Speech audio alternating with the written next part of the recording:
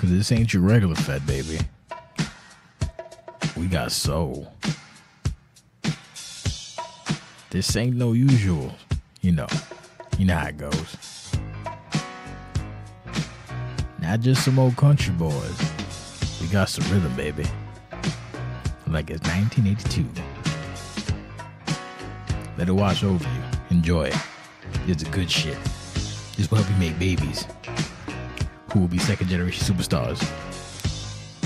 You looking so fine now. Every day. Making up words to the song. Cause I had too much to drink. Doing this for 14 years. Going on. 2K19 is coming soon, baby. Outstanding. Then you knock me out. And we gonna start the show. I'm excited for October 5th. Maybe want to shop, but I ain't gonna shop because it's late right now. Desk. My platforms are Rant Rave.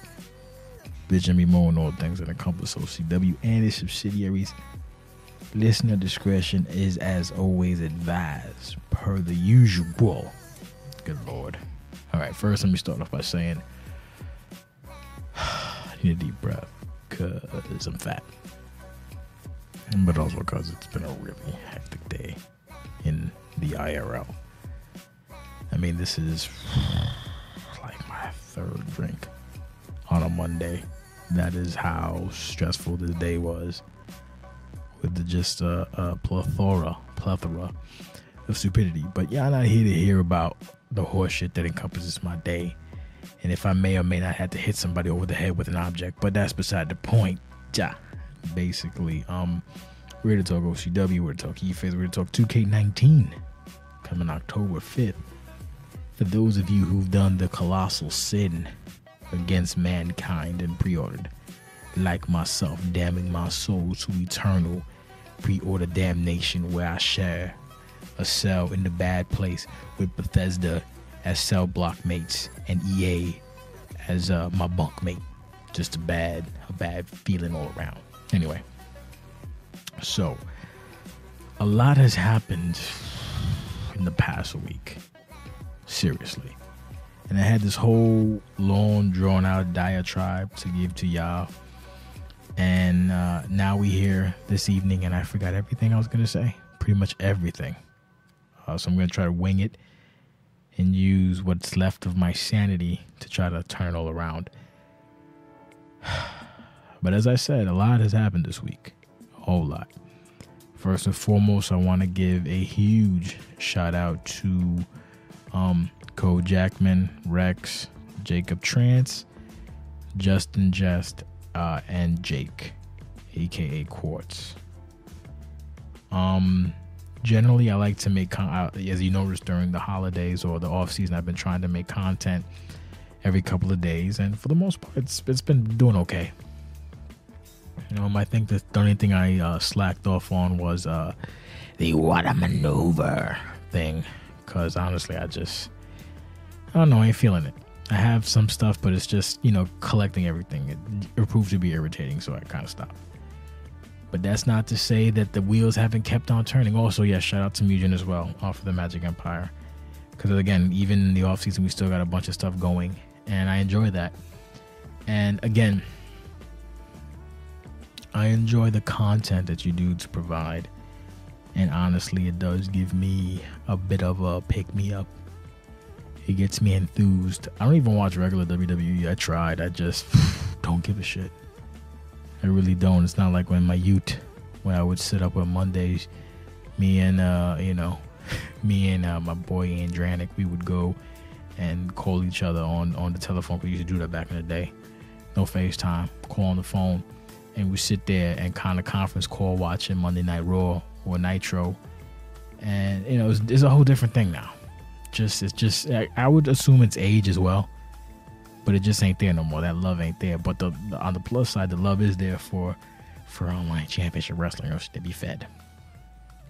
And we have season 14 upon us, and I want to talk about that.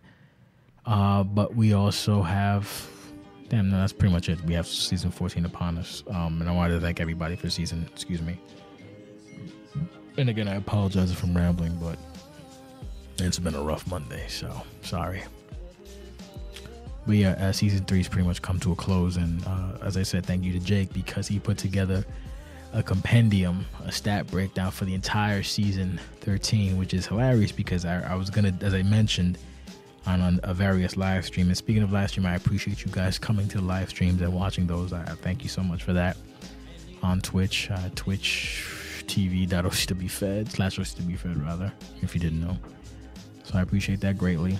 And uh, we talked about um, a few things like the, the, the paybacks, the back page, and um, how they would apply to eFed, OCW, etc. And then towards the end, we went into the stat tracking, and that was something that I was actually gonna bring up during that stream, but early in the day, it was done, and it was just like a weird Christmas present. I was so surprised, and I've between that and Jess video, I've kind of been going back and forth. I, I think I've watched Jess video like I don't know, maybe 15 times. It's it's it's so like I if I were gonna go into a whole producer mode, I would say that my my qualm with the video was uh, it wasn't in the best resolution. It wasn't super duper HD. Some scenes were super HD, some weren't. And then um, the HUD, like because you you know if you sim match, you don't need a HUD. But that's just just me being picky. And if I'm picky for someone else's video, imagine my own shit. I, that's why half the things don't ever get done here because I get so caught up in, in nuance and and micro stuff that it just it overwhelms me and then I stop. But yeah, I really like that video. And then on social, that video blew up. Uh, so again, shout out to Justin just for that. Here's a funny thing that I took away from that video. I look at it as more of an alternate attire than an alternate universe for the most part because it's just basically everybody with better attires. Which leads me to the the main point of that video watching that video, even for that f- small amount of time, made me feel more investment in the characters than I would say the entire season, just for the simple fact that everybody stood out.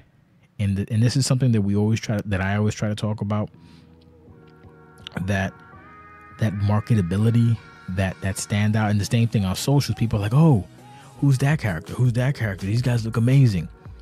And that's not to say that your originals don't look uh, don't look good, but just the take that Jess put on them makes them all stand out. The best the best um comparison I can give you, and this might be a dated reference because again, a lot of you, some of you are old as dirt like me, but a lot of you are also youngsters. But the first WWF game, I think it was WWF. I'm gonna say Warzone um, you would select the wrestler, and they would every, every wrestler would have their own distinct logo, and the logo would kind of give you a sense of the character, if that makes any sense. Like you would see the Goldust uh, logo, and it would have like these weird edges, and it would look all. It would have the pomp in it, and then you would select Goldust, which was him. His character himself was, you know, the golden one, etc. Then you would have someone like uh like uh, I think was was Owen in the game? I think maybe Owen. I don't remember if Owen was in the game or not. I think he was, but he had like the black heart or whatever. And then uh, it was like Owen Hart. The point I'm making is the game only featured about 13 guys, 13 wrestlers. But they all stood out because they all had their own individual look, take, and motivations. So I say that to say that watching the Jess video, I would I kind of got that feeling of what's this guy's motivation? What's this guy's this? Everybody had like I basically how do I put this? It it took me back to that WWF um Warzone game where where I was picturing my head like a Ricky logo based on that color scheme. Uh, a Russ Cole logo based on, on how his character looks uh, a Tyler Steele logo, a Jet logo, like the whole. And here's the thing with that too. It's as I said on Discord and, and on some live streams, you don't have to be super elaborate like like Cassidy Hayes. You don't have to. It doesn't take all that. You just basically need to uh, be simple and concise in what you're doing. Like for example, you take uh, the the Jet remake, or the, I like to call them remixes. The Jet remix. It had like that little um almost almost like a like a sherbet color. I guess maybe it was like an orange, but it wasn't a deep orange. It was almost like a cream slash orange. And then he had the Misfits logo on the back, and then the little the little uh, ascent. Um, I guess what are they? Um, not ascensions, but uh, accents on the vest going upwards, and the little little stuff on the gloves. Cole Jackman looks exponentially better with the the the code on his tights. Um, Ricky did the whole dragon theme, except he had you know it was like like a like almost a pea like a split pea color color scheme, split pea and a bit of a like a, a brown greenish thing. Like it's just it's just good uses of color, and everybody had had their own color palette, and that's what helps you stand out. Like one of the my, one of my favorite ones is Tyler Steele. Tyler Steele had this whole, I don't know, it just looked fucking awesome. And the thing is, you see that and you go, oh shit, that's cool. What's he's about? What what is he about? So, I guess my point is, I don't know. Maybe I need to send some PayPal to a Patreon to Jess and have him hook your shit up, or maybe you need to just take advice from people who know how to how to make you look, how to make your stuff look proper, and and do that because that's what's going to help you in the coming season to have a distinct look and to have a you know when you have a distinct look and then we show you stuff to other people they go oh shit that guy looks cool. What's what's he doing? And that kind of helps. That kind of helps you get you know i don't know a fan base of people to give a fuck about your character. But i got nothing bad to say about that video man. I loved i love how everybody turned out. If i had any micro micro gripes it would be maybe the weebs needed some kind of um maybe some kind of uh maybe a tiny bit of anime on them. Like uh, I don't know, some kind of something, some maybe some anime logo on on the attire that would match the red that they had. It just I, I loved how everybody flowed. Riley Quinn looked credible for once. Riley Quinn looked like an interesting character. The you know the breakdown of of of of, of Moore worked out good. Benji had that weird uh almost like a dream kind of thing, but it's just all simple. If you notice it, every nothing is super elaborate. Everything is simple. So as I said, you don't gotta go crazy. Just keep it simple, stupid. Uh, what else?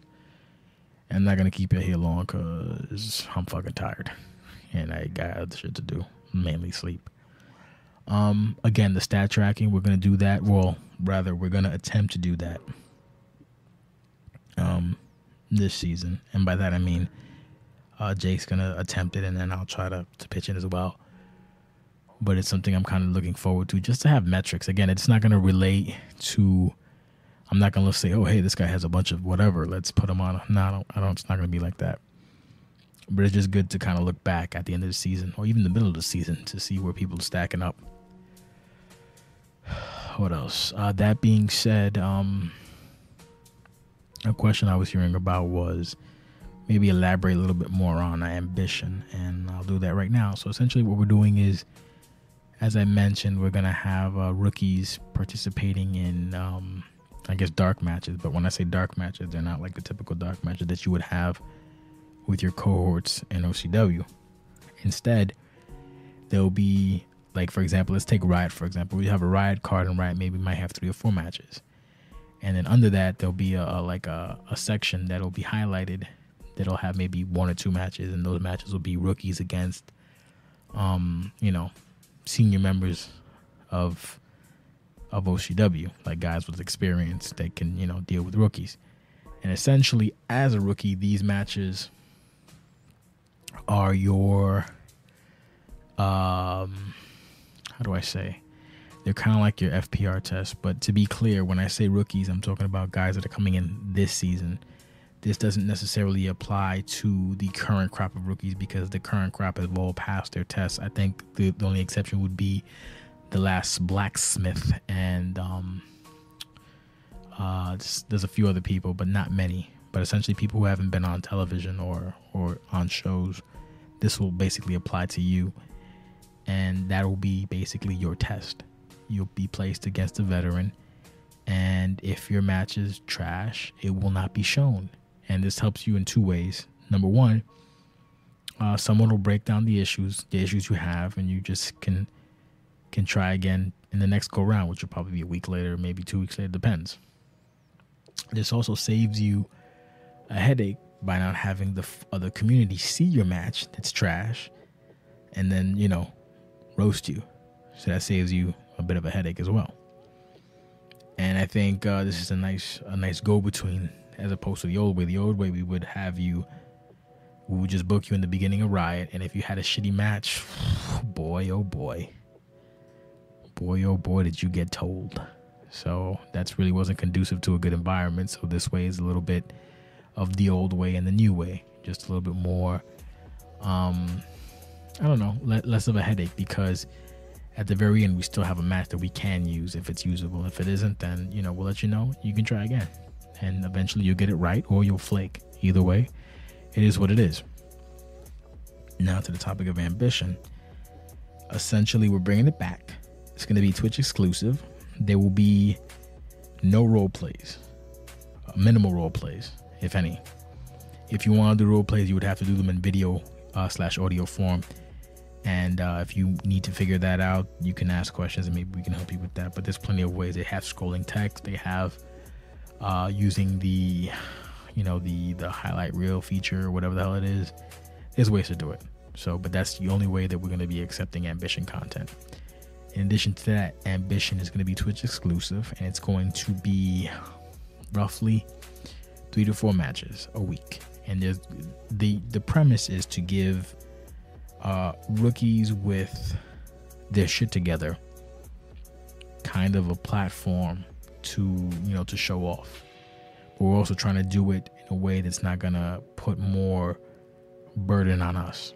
So my goal for the ambition is to keep it between 40 minutes and 60 minutes roughly between 40 and 60 that way it's something that i can just put together and toss on twitch hang out for an hour or, or 40 minutes and, and, be done with it that's not that i don't think that's a, a big commitment on my end it's not a big commitment on your end. So I think that would help grow the product. In addition, also give you know got rookies or people who want to be showcased uh, a, a, spot to you know to a, a chance to to glow up, if you will. Now, as far as days days go, that's still up in the air because currently the way it's gonna work is at the moment, right? It's gonna be Tuesdays, and our term is still gonna be Friday. So we got to figure out some time in between and see how the hell we can work this out either way, we'll you know we'll get to it, and hopefully it won't be much of a, a ball ache.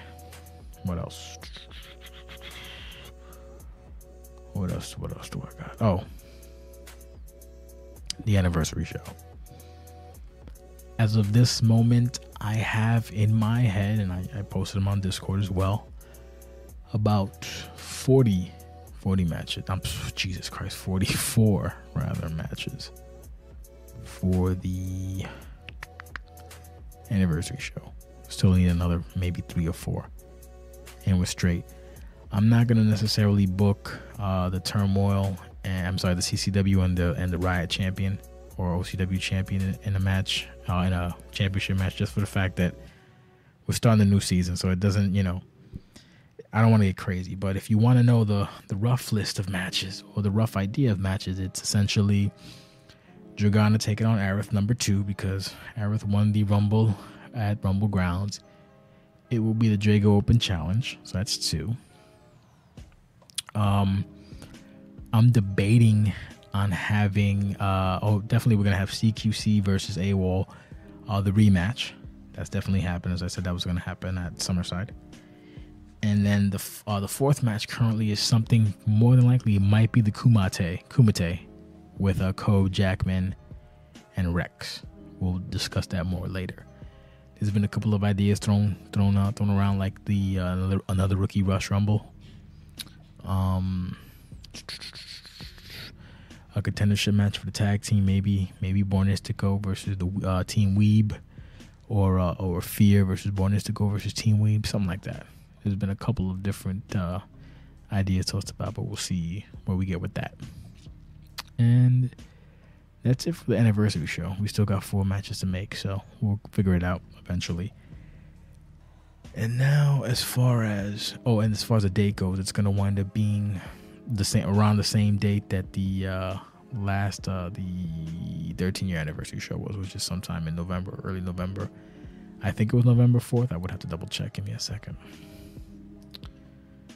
It would yeah, it would probably be uh, November 4th more than likely because November 4th is um is uh is a Sunday.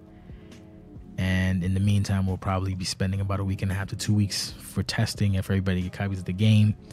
So that kind of leaves us like a weird two week dry period. But then again, Red Dead Redemption 2 drops on the 26th. So kind of want to give people who want to play that a little bit of a chance to get that out their system a little bit as well. But in the meantime, we will probably have some kind of event on the 20th or the 21st, a small event, nothing nothing super major.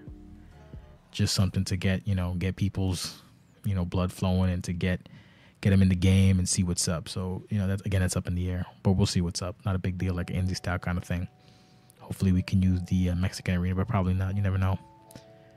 Uh, what else? Yes, as I said, the game drops this Friday for people who pre-ordered myself, Cassidy Hayes, Tiberius Dupree, possibly Nate Ortiz, and one other will be doing the the rough testing and trying to break the game and figure out, you know, the, the, the garbage stuff that you some of you people try to come up with. And at that point we will have within the next week of that, which would be around the around maybe the 13th or the 14th, the revised FPR handbook and hopefully a video for FPR, which we're also working on. And that's pretty much it. Then we just start rocking and rolling. And um, we'll be having an event. When is it? Uh, we'll have an event roughly in the middle of December. And then at the end of December, we'll have a ladies uh, only event. We just have booked as well. Ladies' night number three, or round three, whatever you want to call it. December will be, I don't remember if it, it wasn't Chill Factor. Was it Devil's Night? I don't fucking know. Probably Devil's Night. Devil's Night and and fucking thing. I don't remember. I don't know. We'll figure it out. Actually, no, it was Chill Factor. I think. Either way, we'll we'll have something in December as well. And that's pretty much it on that end. Um, that's gonna pretty much do it for me. There was something else, but honestly, I can't I can't remember it. Oh, sorry. One more thing. Uh, I am working on a project that's going to require a lot of you to submit screenshots with no HUD and small clip videos. You can click them, clip them using whatever program you want, but they just have to be, uh, you know, uh, uh, HD, meaning you know, uh, what is it, uh, 720p. Uh, so these clips only have to be five to ten seconds. Nothing, nothing major, but essentially what I'm looking for is to capture moments with your character. Usually, usually these moments happen post in the celebrations or or during the entrances. But uh, yeah, that's what we're looking for. Um, to give you an example, would be when uh, we had the entrance video. Uh, I think number two was Cassidy Hayes, and he had the whole mariachi band thing. There was a point at the very end of his video where he's kind of looking sideways. That's a screenshot. That's that's a moment. Um, in the Jess video, there's a there's a spot where uh, the the bar comes down, the name bar comes down. You just see a photo of, of uh, Ashley, and she kind of looks a certain way at, towards the very end. That's a moment during the uh, other entrance video with Valkyrie. There's a moment where she kind of looks at the camera and almost winks. That's a moment. There's there's little pieces that you guys have to use your artistic eye and just capture it. Think of it like a screenshot contest if you want. You can also do a screenshot as well, one or two. I only need maybe one or two per person, maybe one clip and one and one screenshot. And uh, it's basically for a project that I'm working on for the new season. So the the quicker I get the stuff, the better. I can just bang it out, pause, and finish it. So yeah, that's pretty much it. Thank you for your time. I appreciate it. I'm a little tired, so I apologize for low energy. We're gonna keep doing what we're doing. As always, smash that like button if you if you're new. If you're a member of OCW, be sure to share this to everybody. We're trying to hit socials as hard as we can, trying to grow the movement, trying to keep doing what we're doing. So thank you so much. Have a wonderful night. And we will see you shit on Wednesday for Magic Empire episode four. I think it's episode four, and we will see you on Friday for a whole bunch of live streams because I'm gonna be live streaming on Friday. My frustration, so we'll see what's up. Thank you. Have a wonderful night.